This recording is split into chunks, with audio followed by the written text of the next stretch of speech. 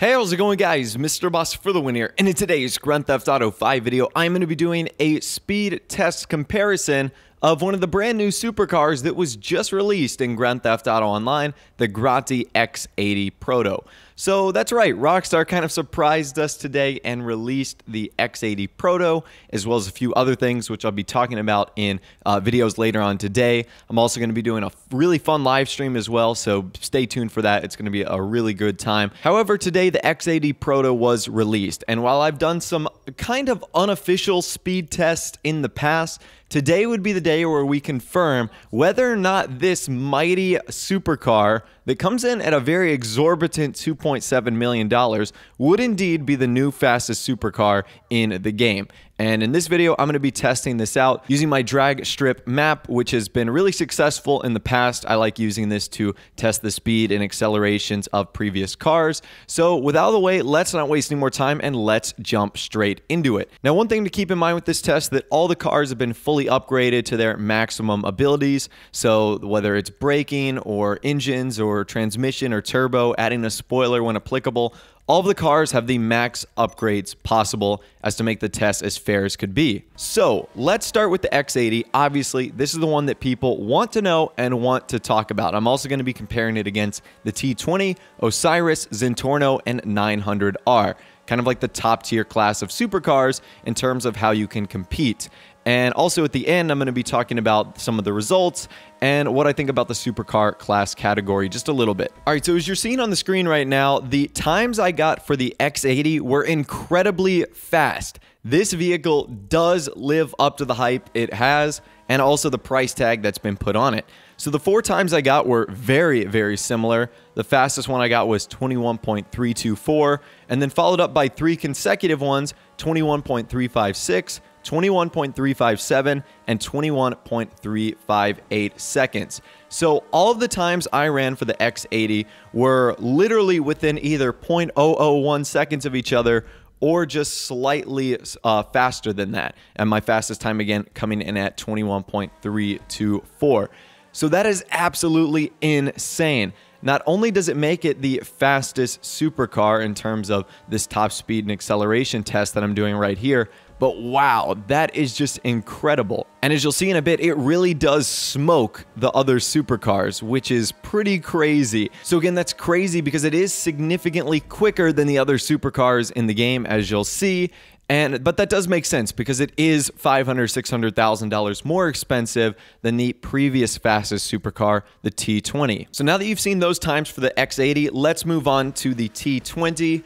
You've seen me race the T20 in the past, so this shouldn't be really any new information right here. The T20 came in with the second fastest time of 22.057 seconds, and then another slower time that I ran, which was just a little bit slower, 22.124 seconds. So again, it's about 0.6 seconds slower than the X80 on average. And you wouldn't think that's a lot, but I've said it before when you're traveling at, you know, 120 miles an hour plus 150, sometimes reaching top speeds like that, 0.6 seconds is a huge difference and can obviously be the difference between finishing first or second or third or fourth or being able to jump around a guy rounding a, a, a, corner or whatnot. So you may not think that's a significant difference, but in reality, it actually is. So the T20, again, coming in in that second place spot. We've also got the Banshee 900R that also ran a pretty impressive time. Believe it or not, some of the cars that I ran in here, I got identical times, which is crazy. So I ran the Banshee 900R once and was able to achieve a time of 22.124, which again is extremely close to the time that I ran with the T20.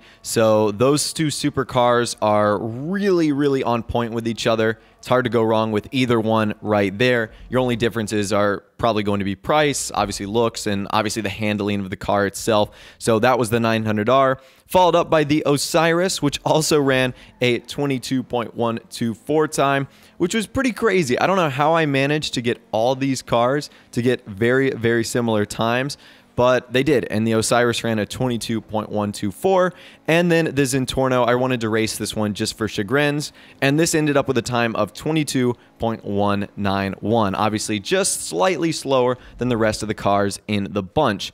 However, this is pretty interesting. This is a pretty crazy test that we were able to run today. So even though the X80 is clearly superior in acceleration and speed, as can be seen by this drag test race right here, one thing I did notice just driving it in free mode is that it doesn't have the one, the best braking, traction, or handling. Now, I haven't done specific tests to like test the braking, like how fast it could stop or how well it rounds corners, but just out of feel, I mean, I've been playing Grand Theft Auto Online for three years now, to some of the other supercars in the game. T20 I've been using forever, Osiris, been using for a good bit. Um, obviously, Adder, Entity, been using those cars for a while it doesn't seem like it's up to par with some of those supercars, which means that in races, it is going to feel differently and it is going to take some getting used to to some of the other vehicles. So although during this test it was clearly faster, I have had some trouble with braking and traction and handling. And I think some other people have even mentioned this as well that it although it is super fast, it doesn't have the best handling. So that might be something to consider in races. Again, I say this all the time that choosing cars are subjective. Yes, there are hard facts in the game that say, you know, one car will you know, quote unquote, perform better than the other, but it's all about the feel of the car and how it works with you.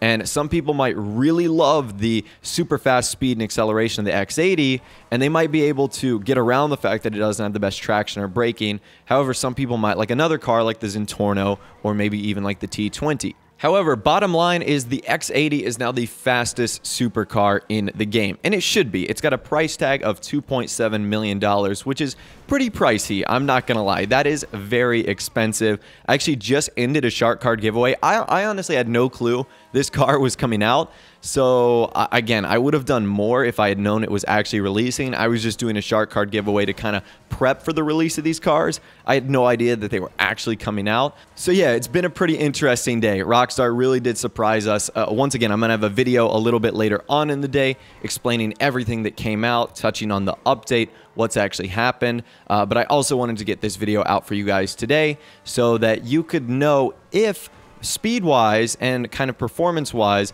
the Grotti X80 Proto was worth it or not. Again, stick around on my channel later today. We're going to be doing streams. We're going to have a lot of fun. Uh, it's going to be a blast. I'll let you guys know on Twitter as well. If you did go on to enjoy this video, however, a like rating would, of course, be awesome. And also, subscribe to my YouTube channel if you are new or you like daily GTA 5 videos like this. With out of the way, guys, like I said, thanks for watching. Take care, and I'll see you guys in the next video.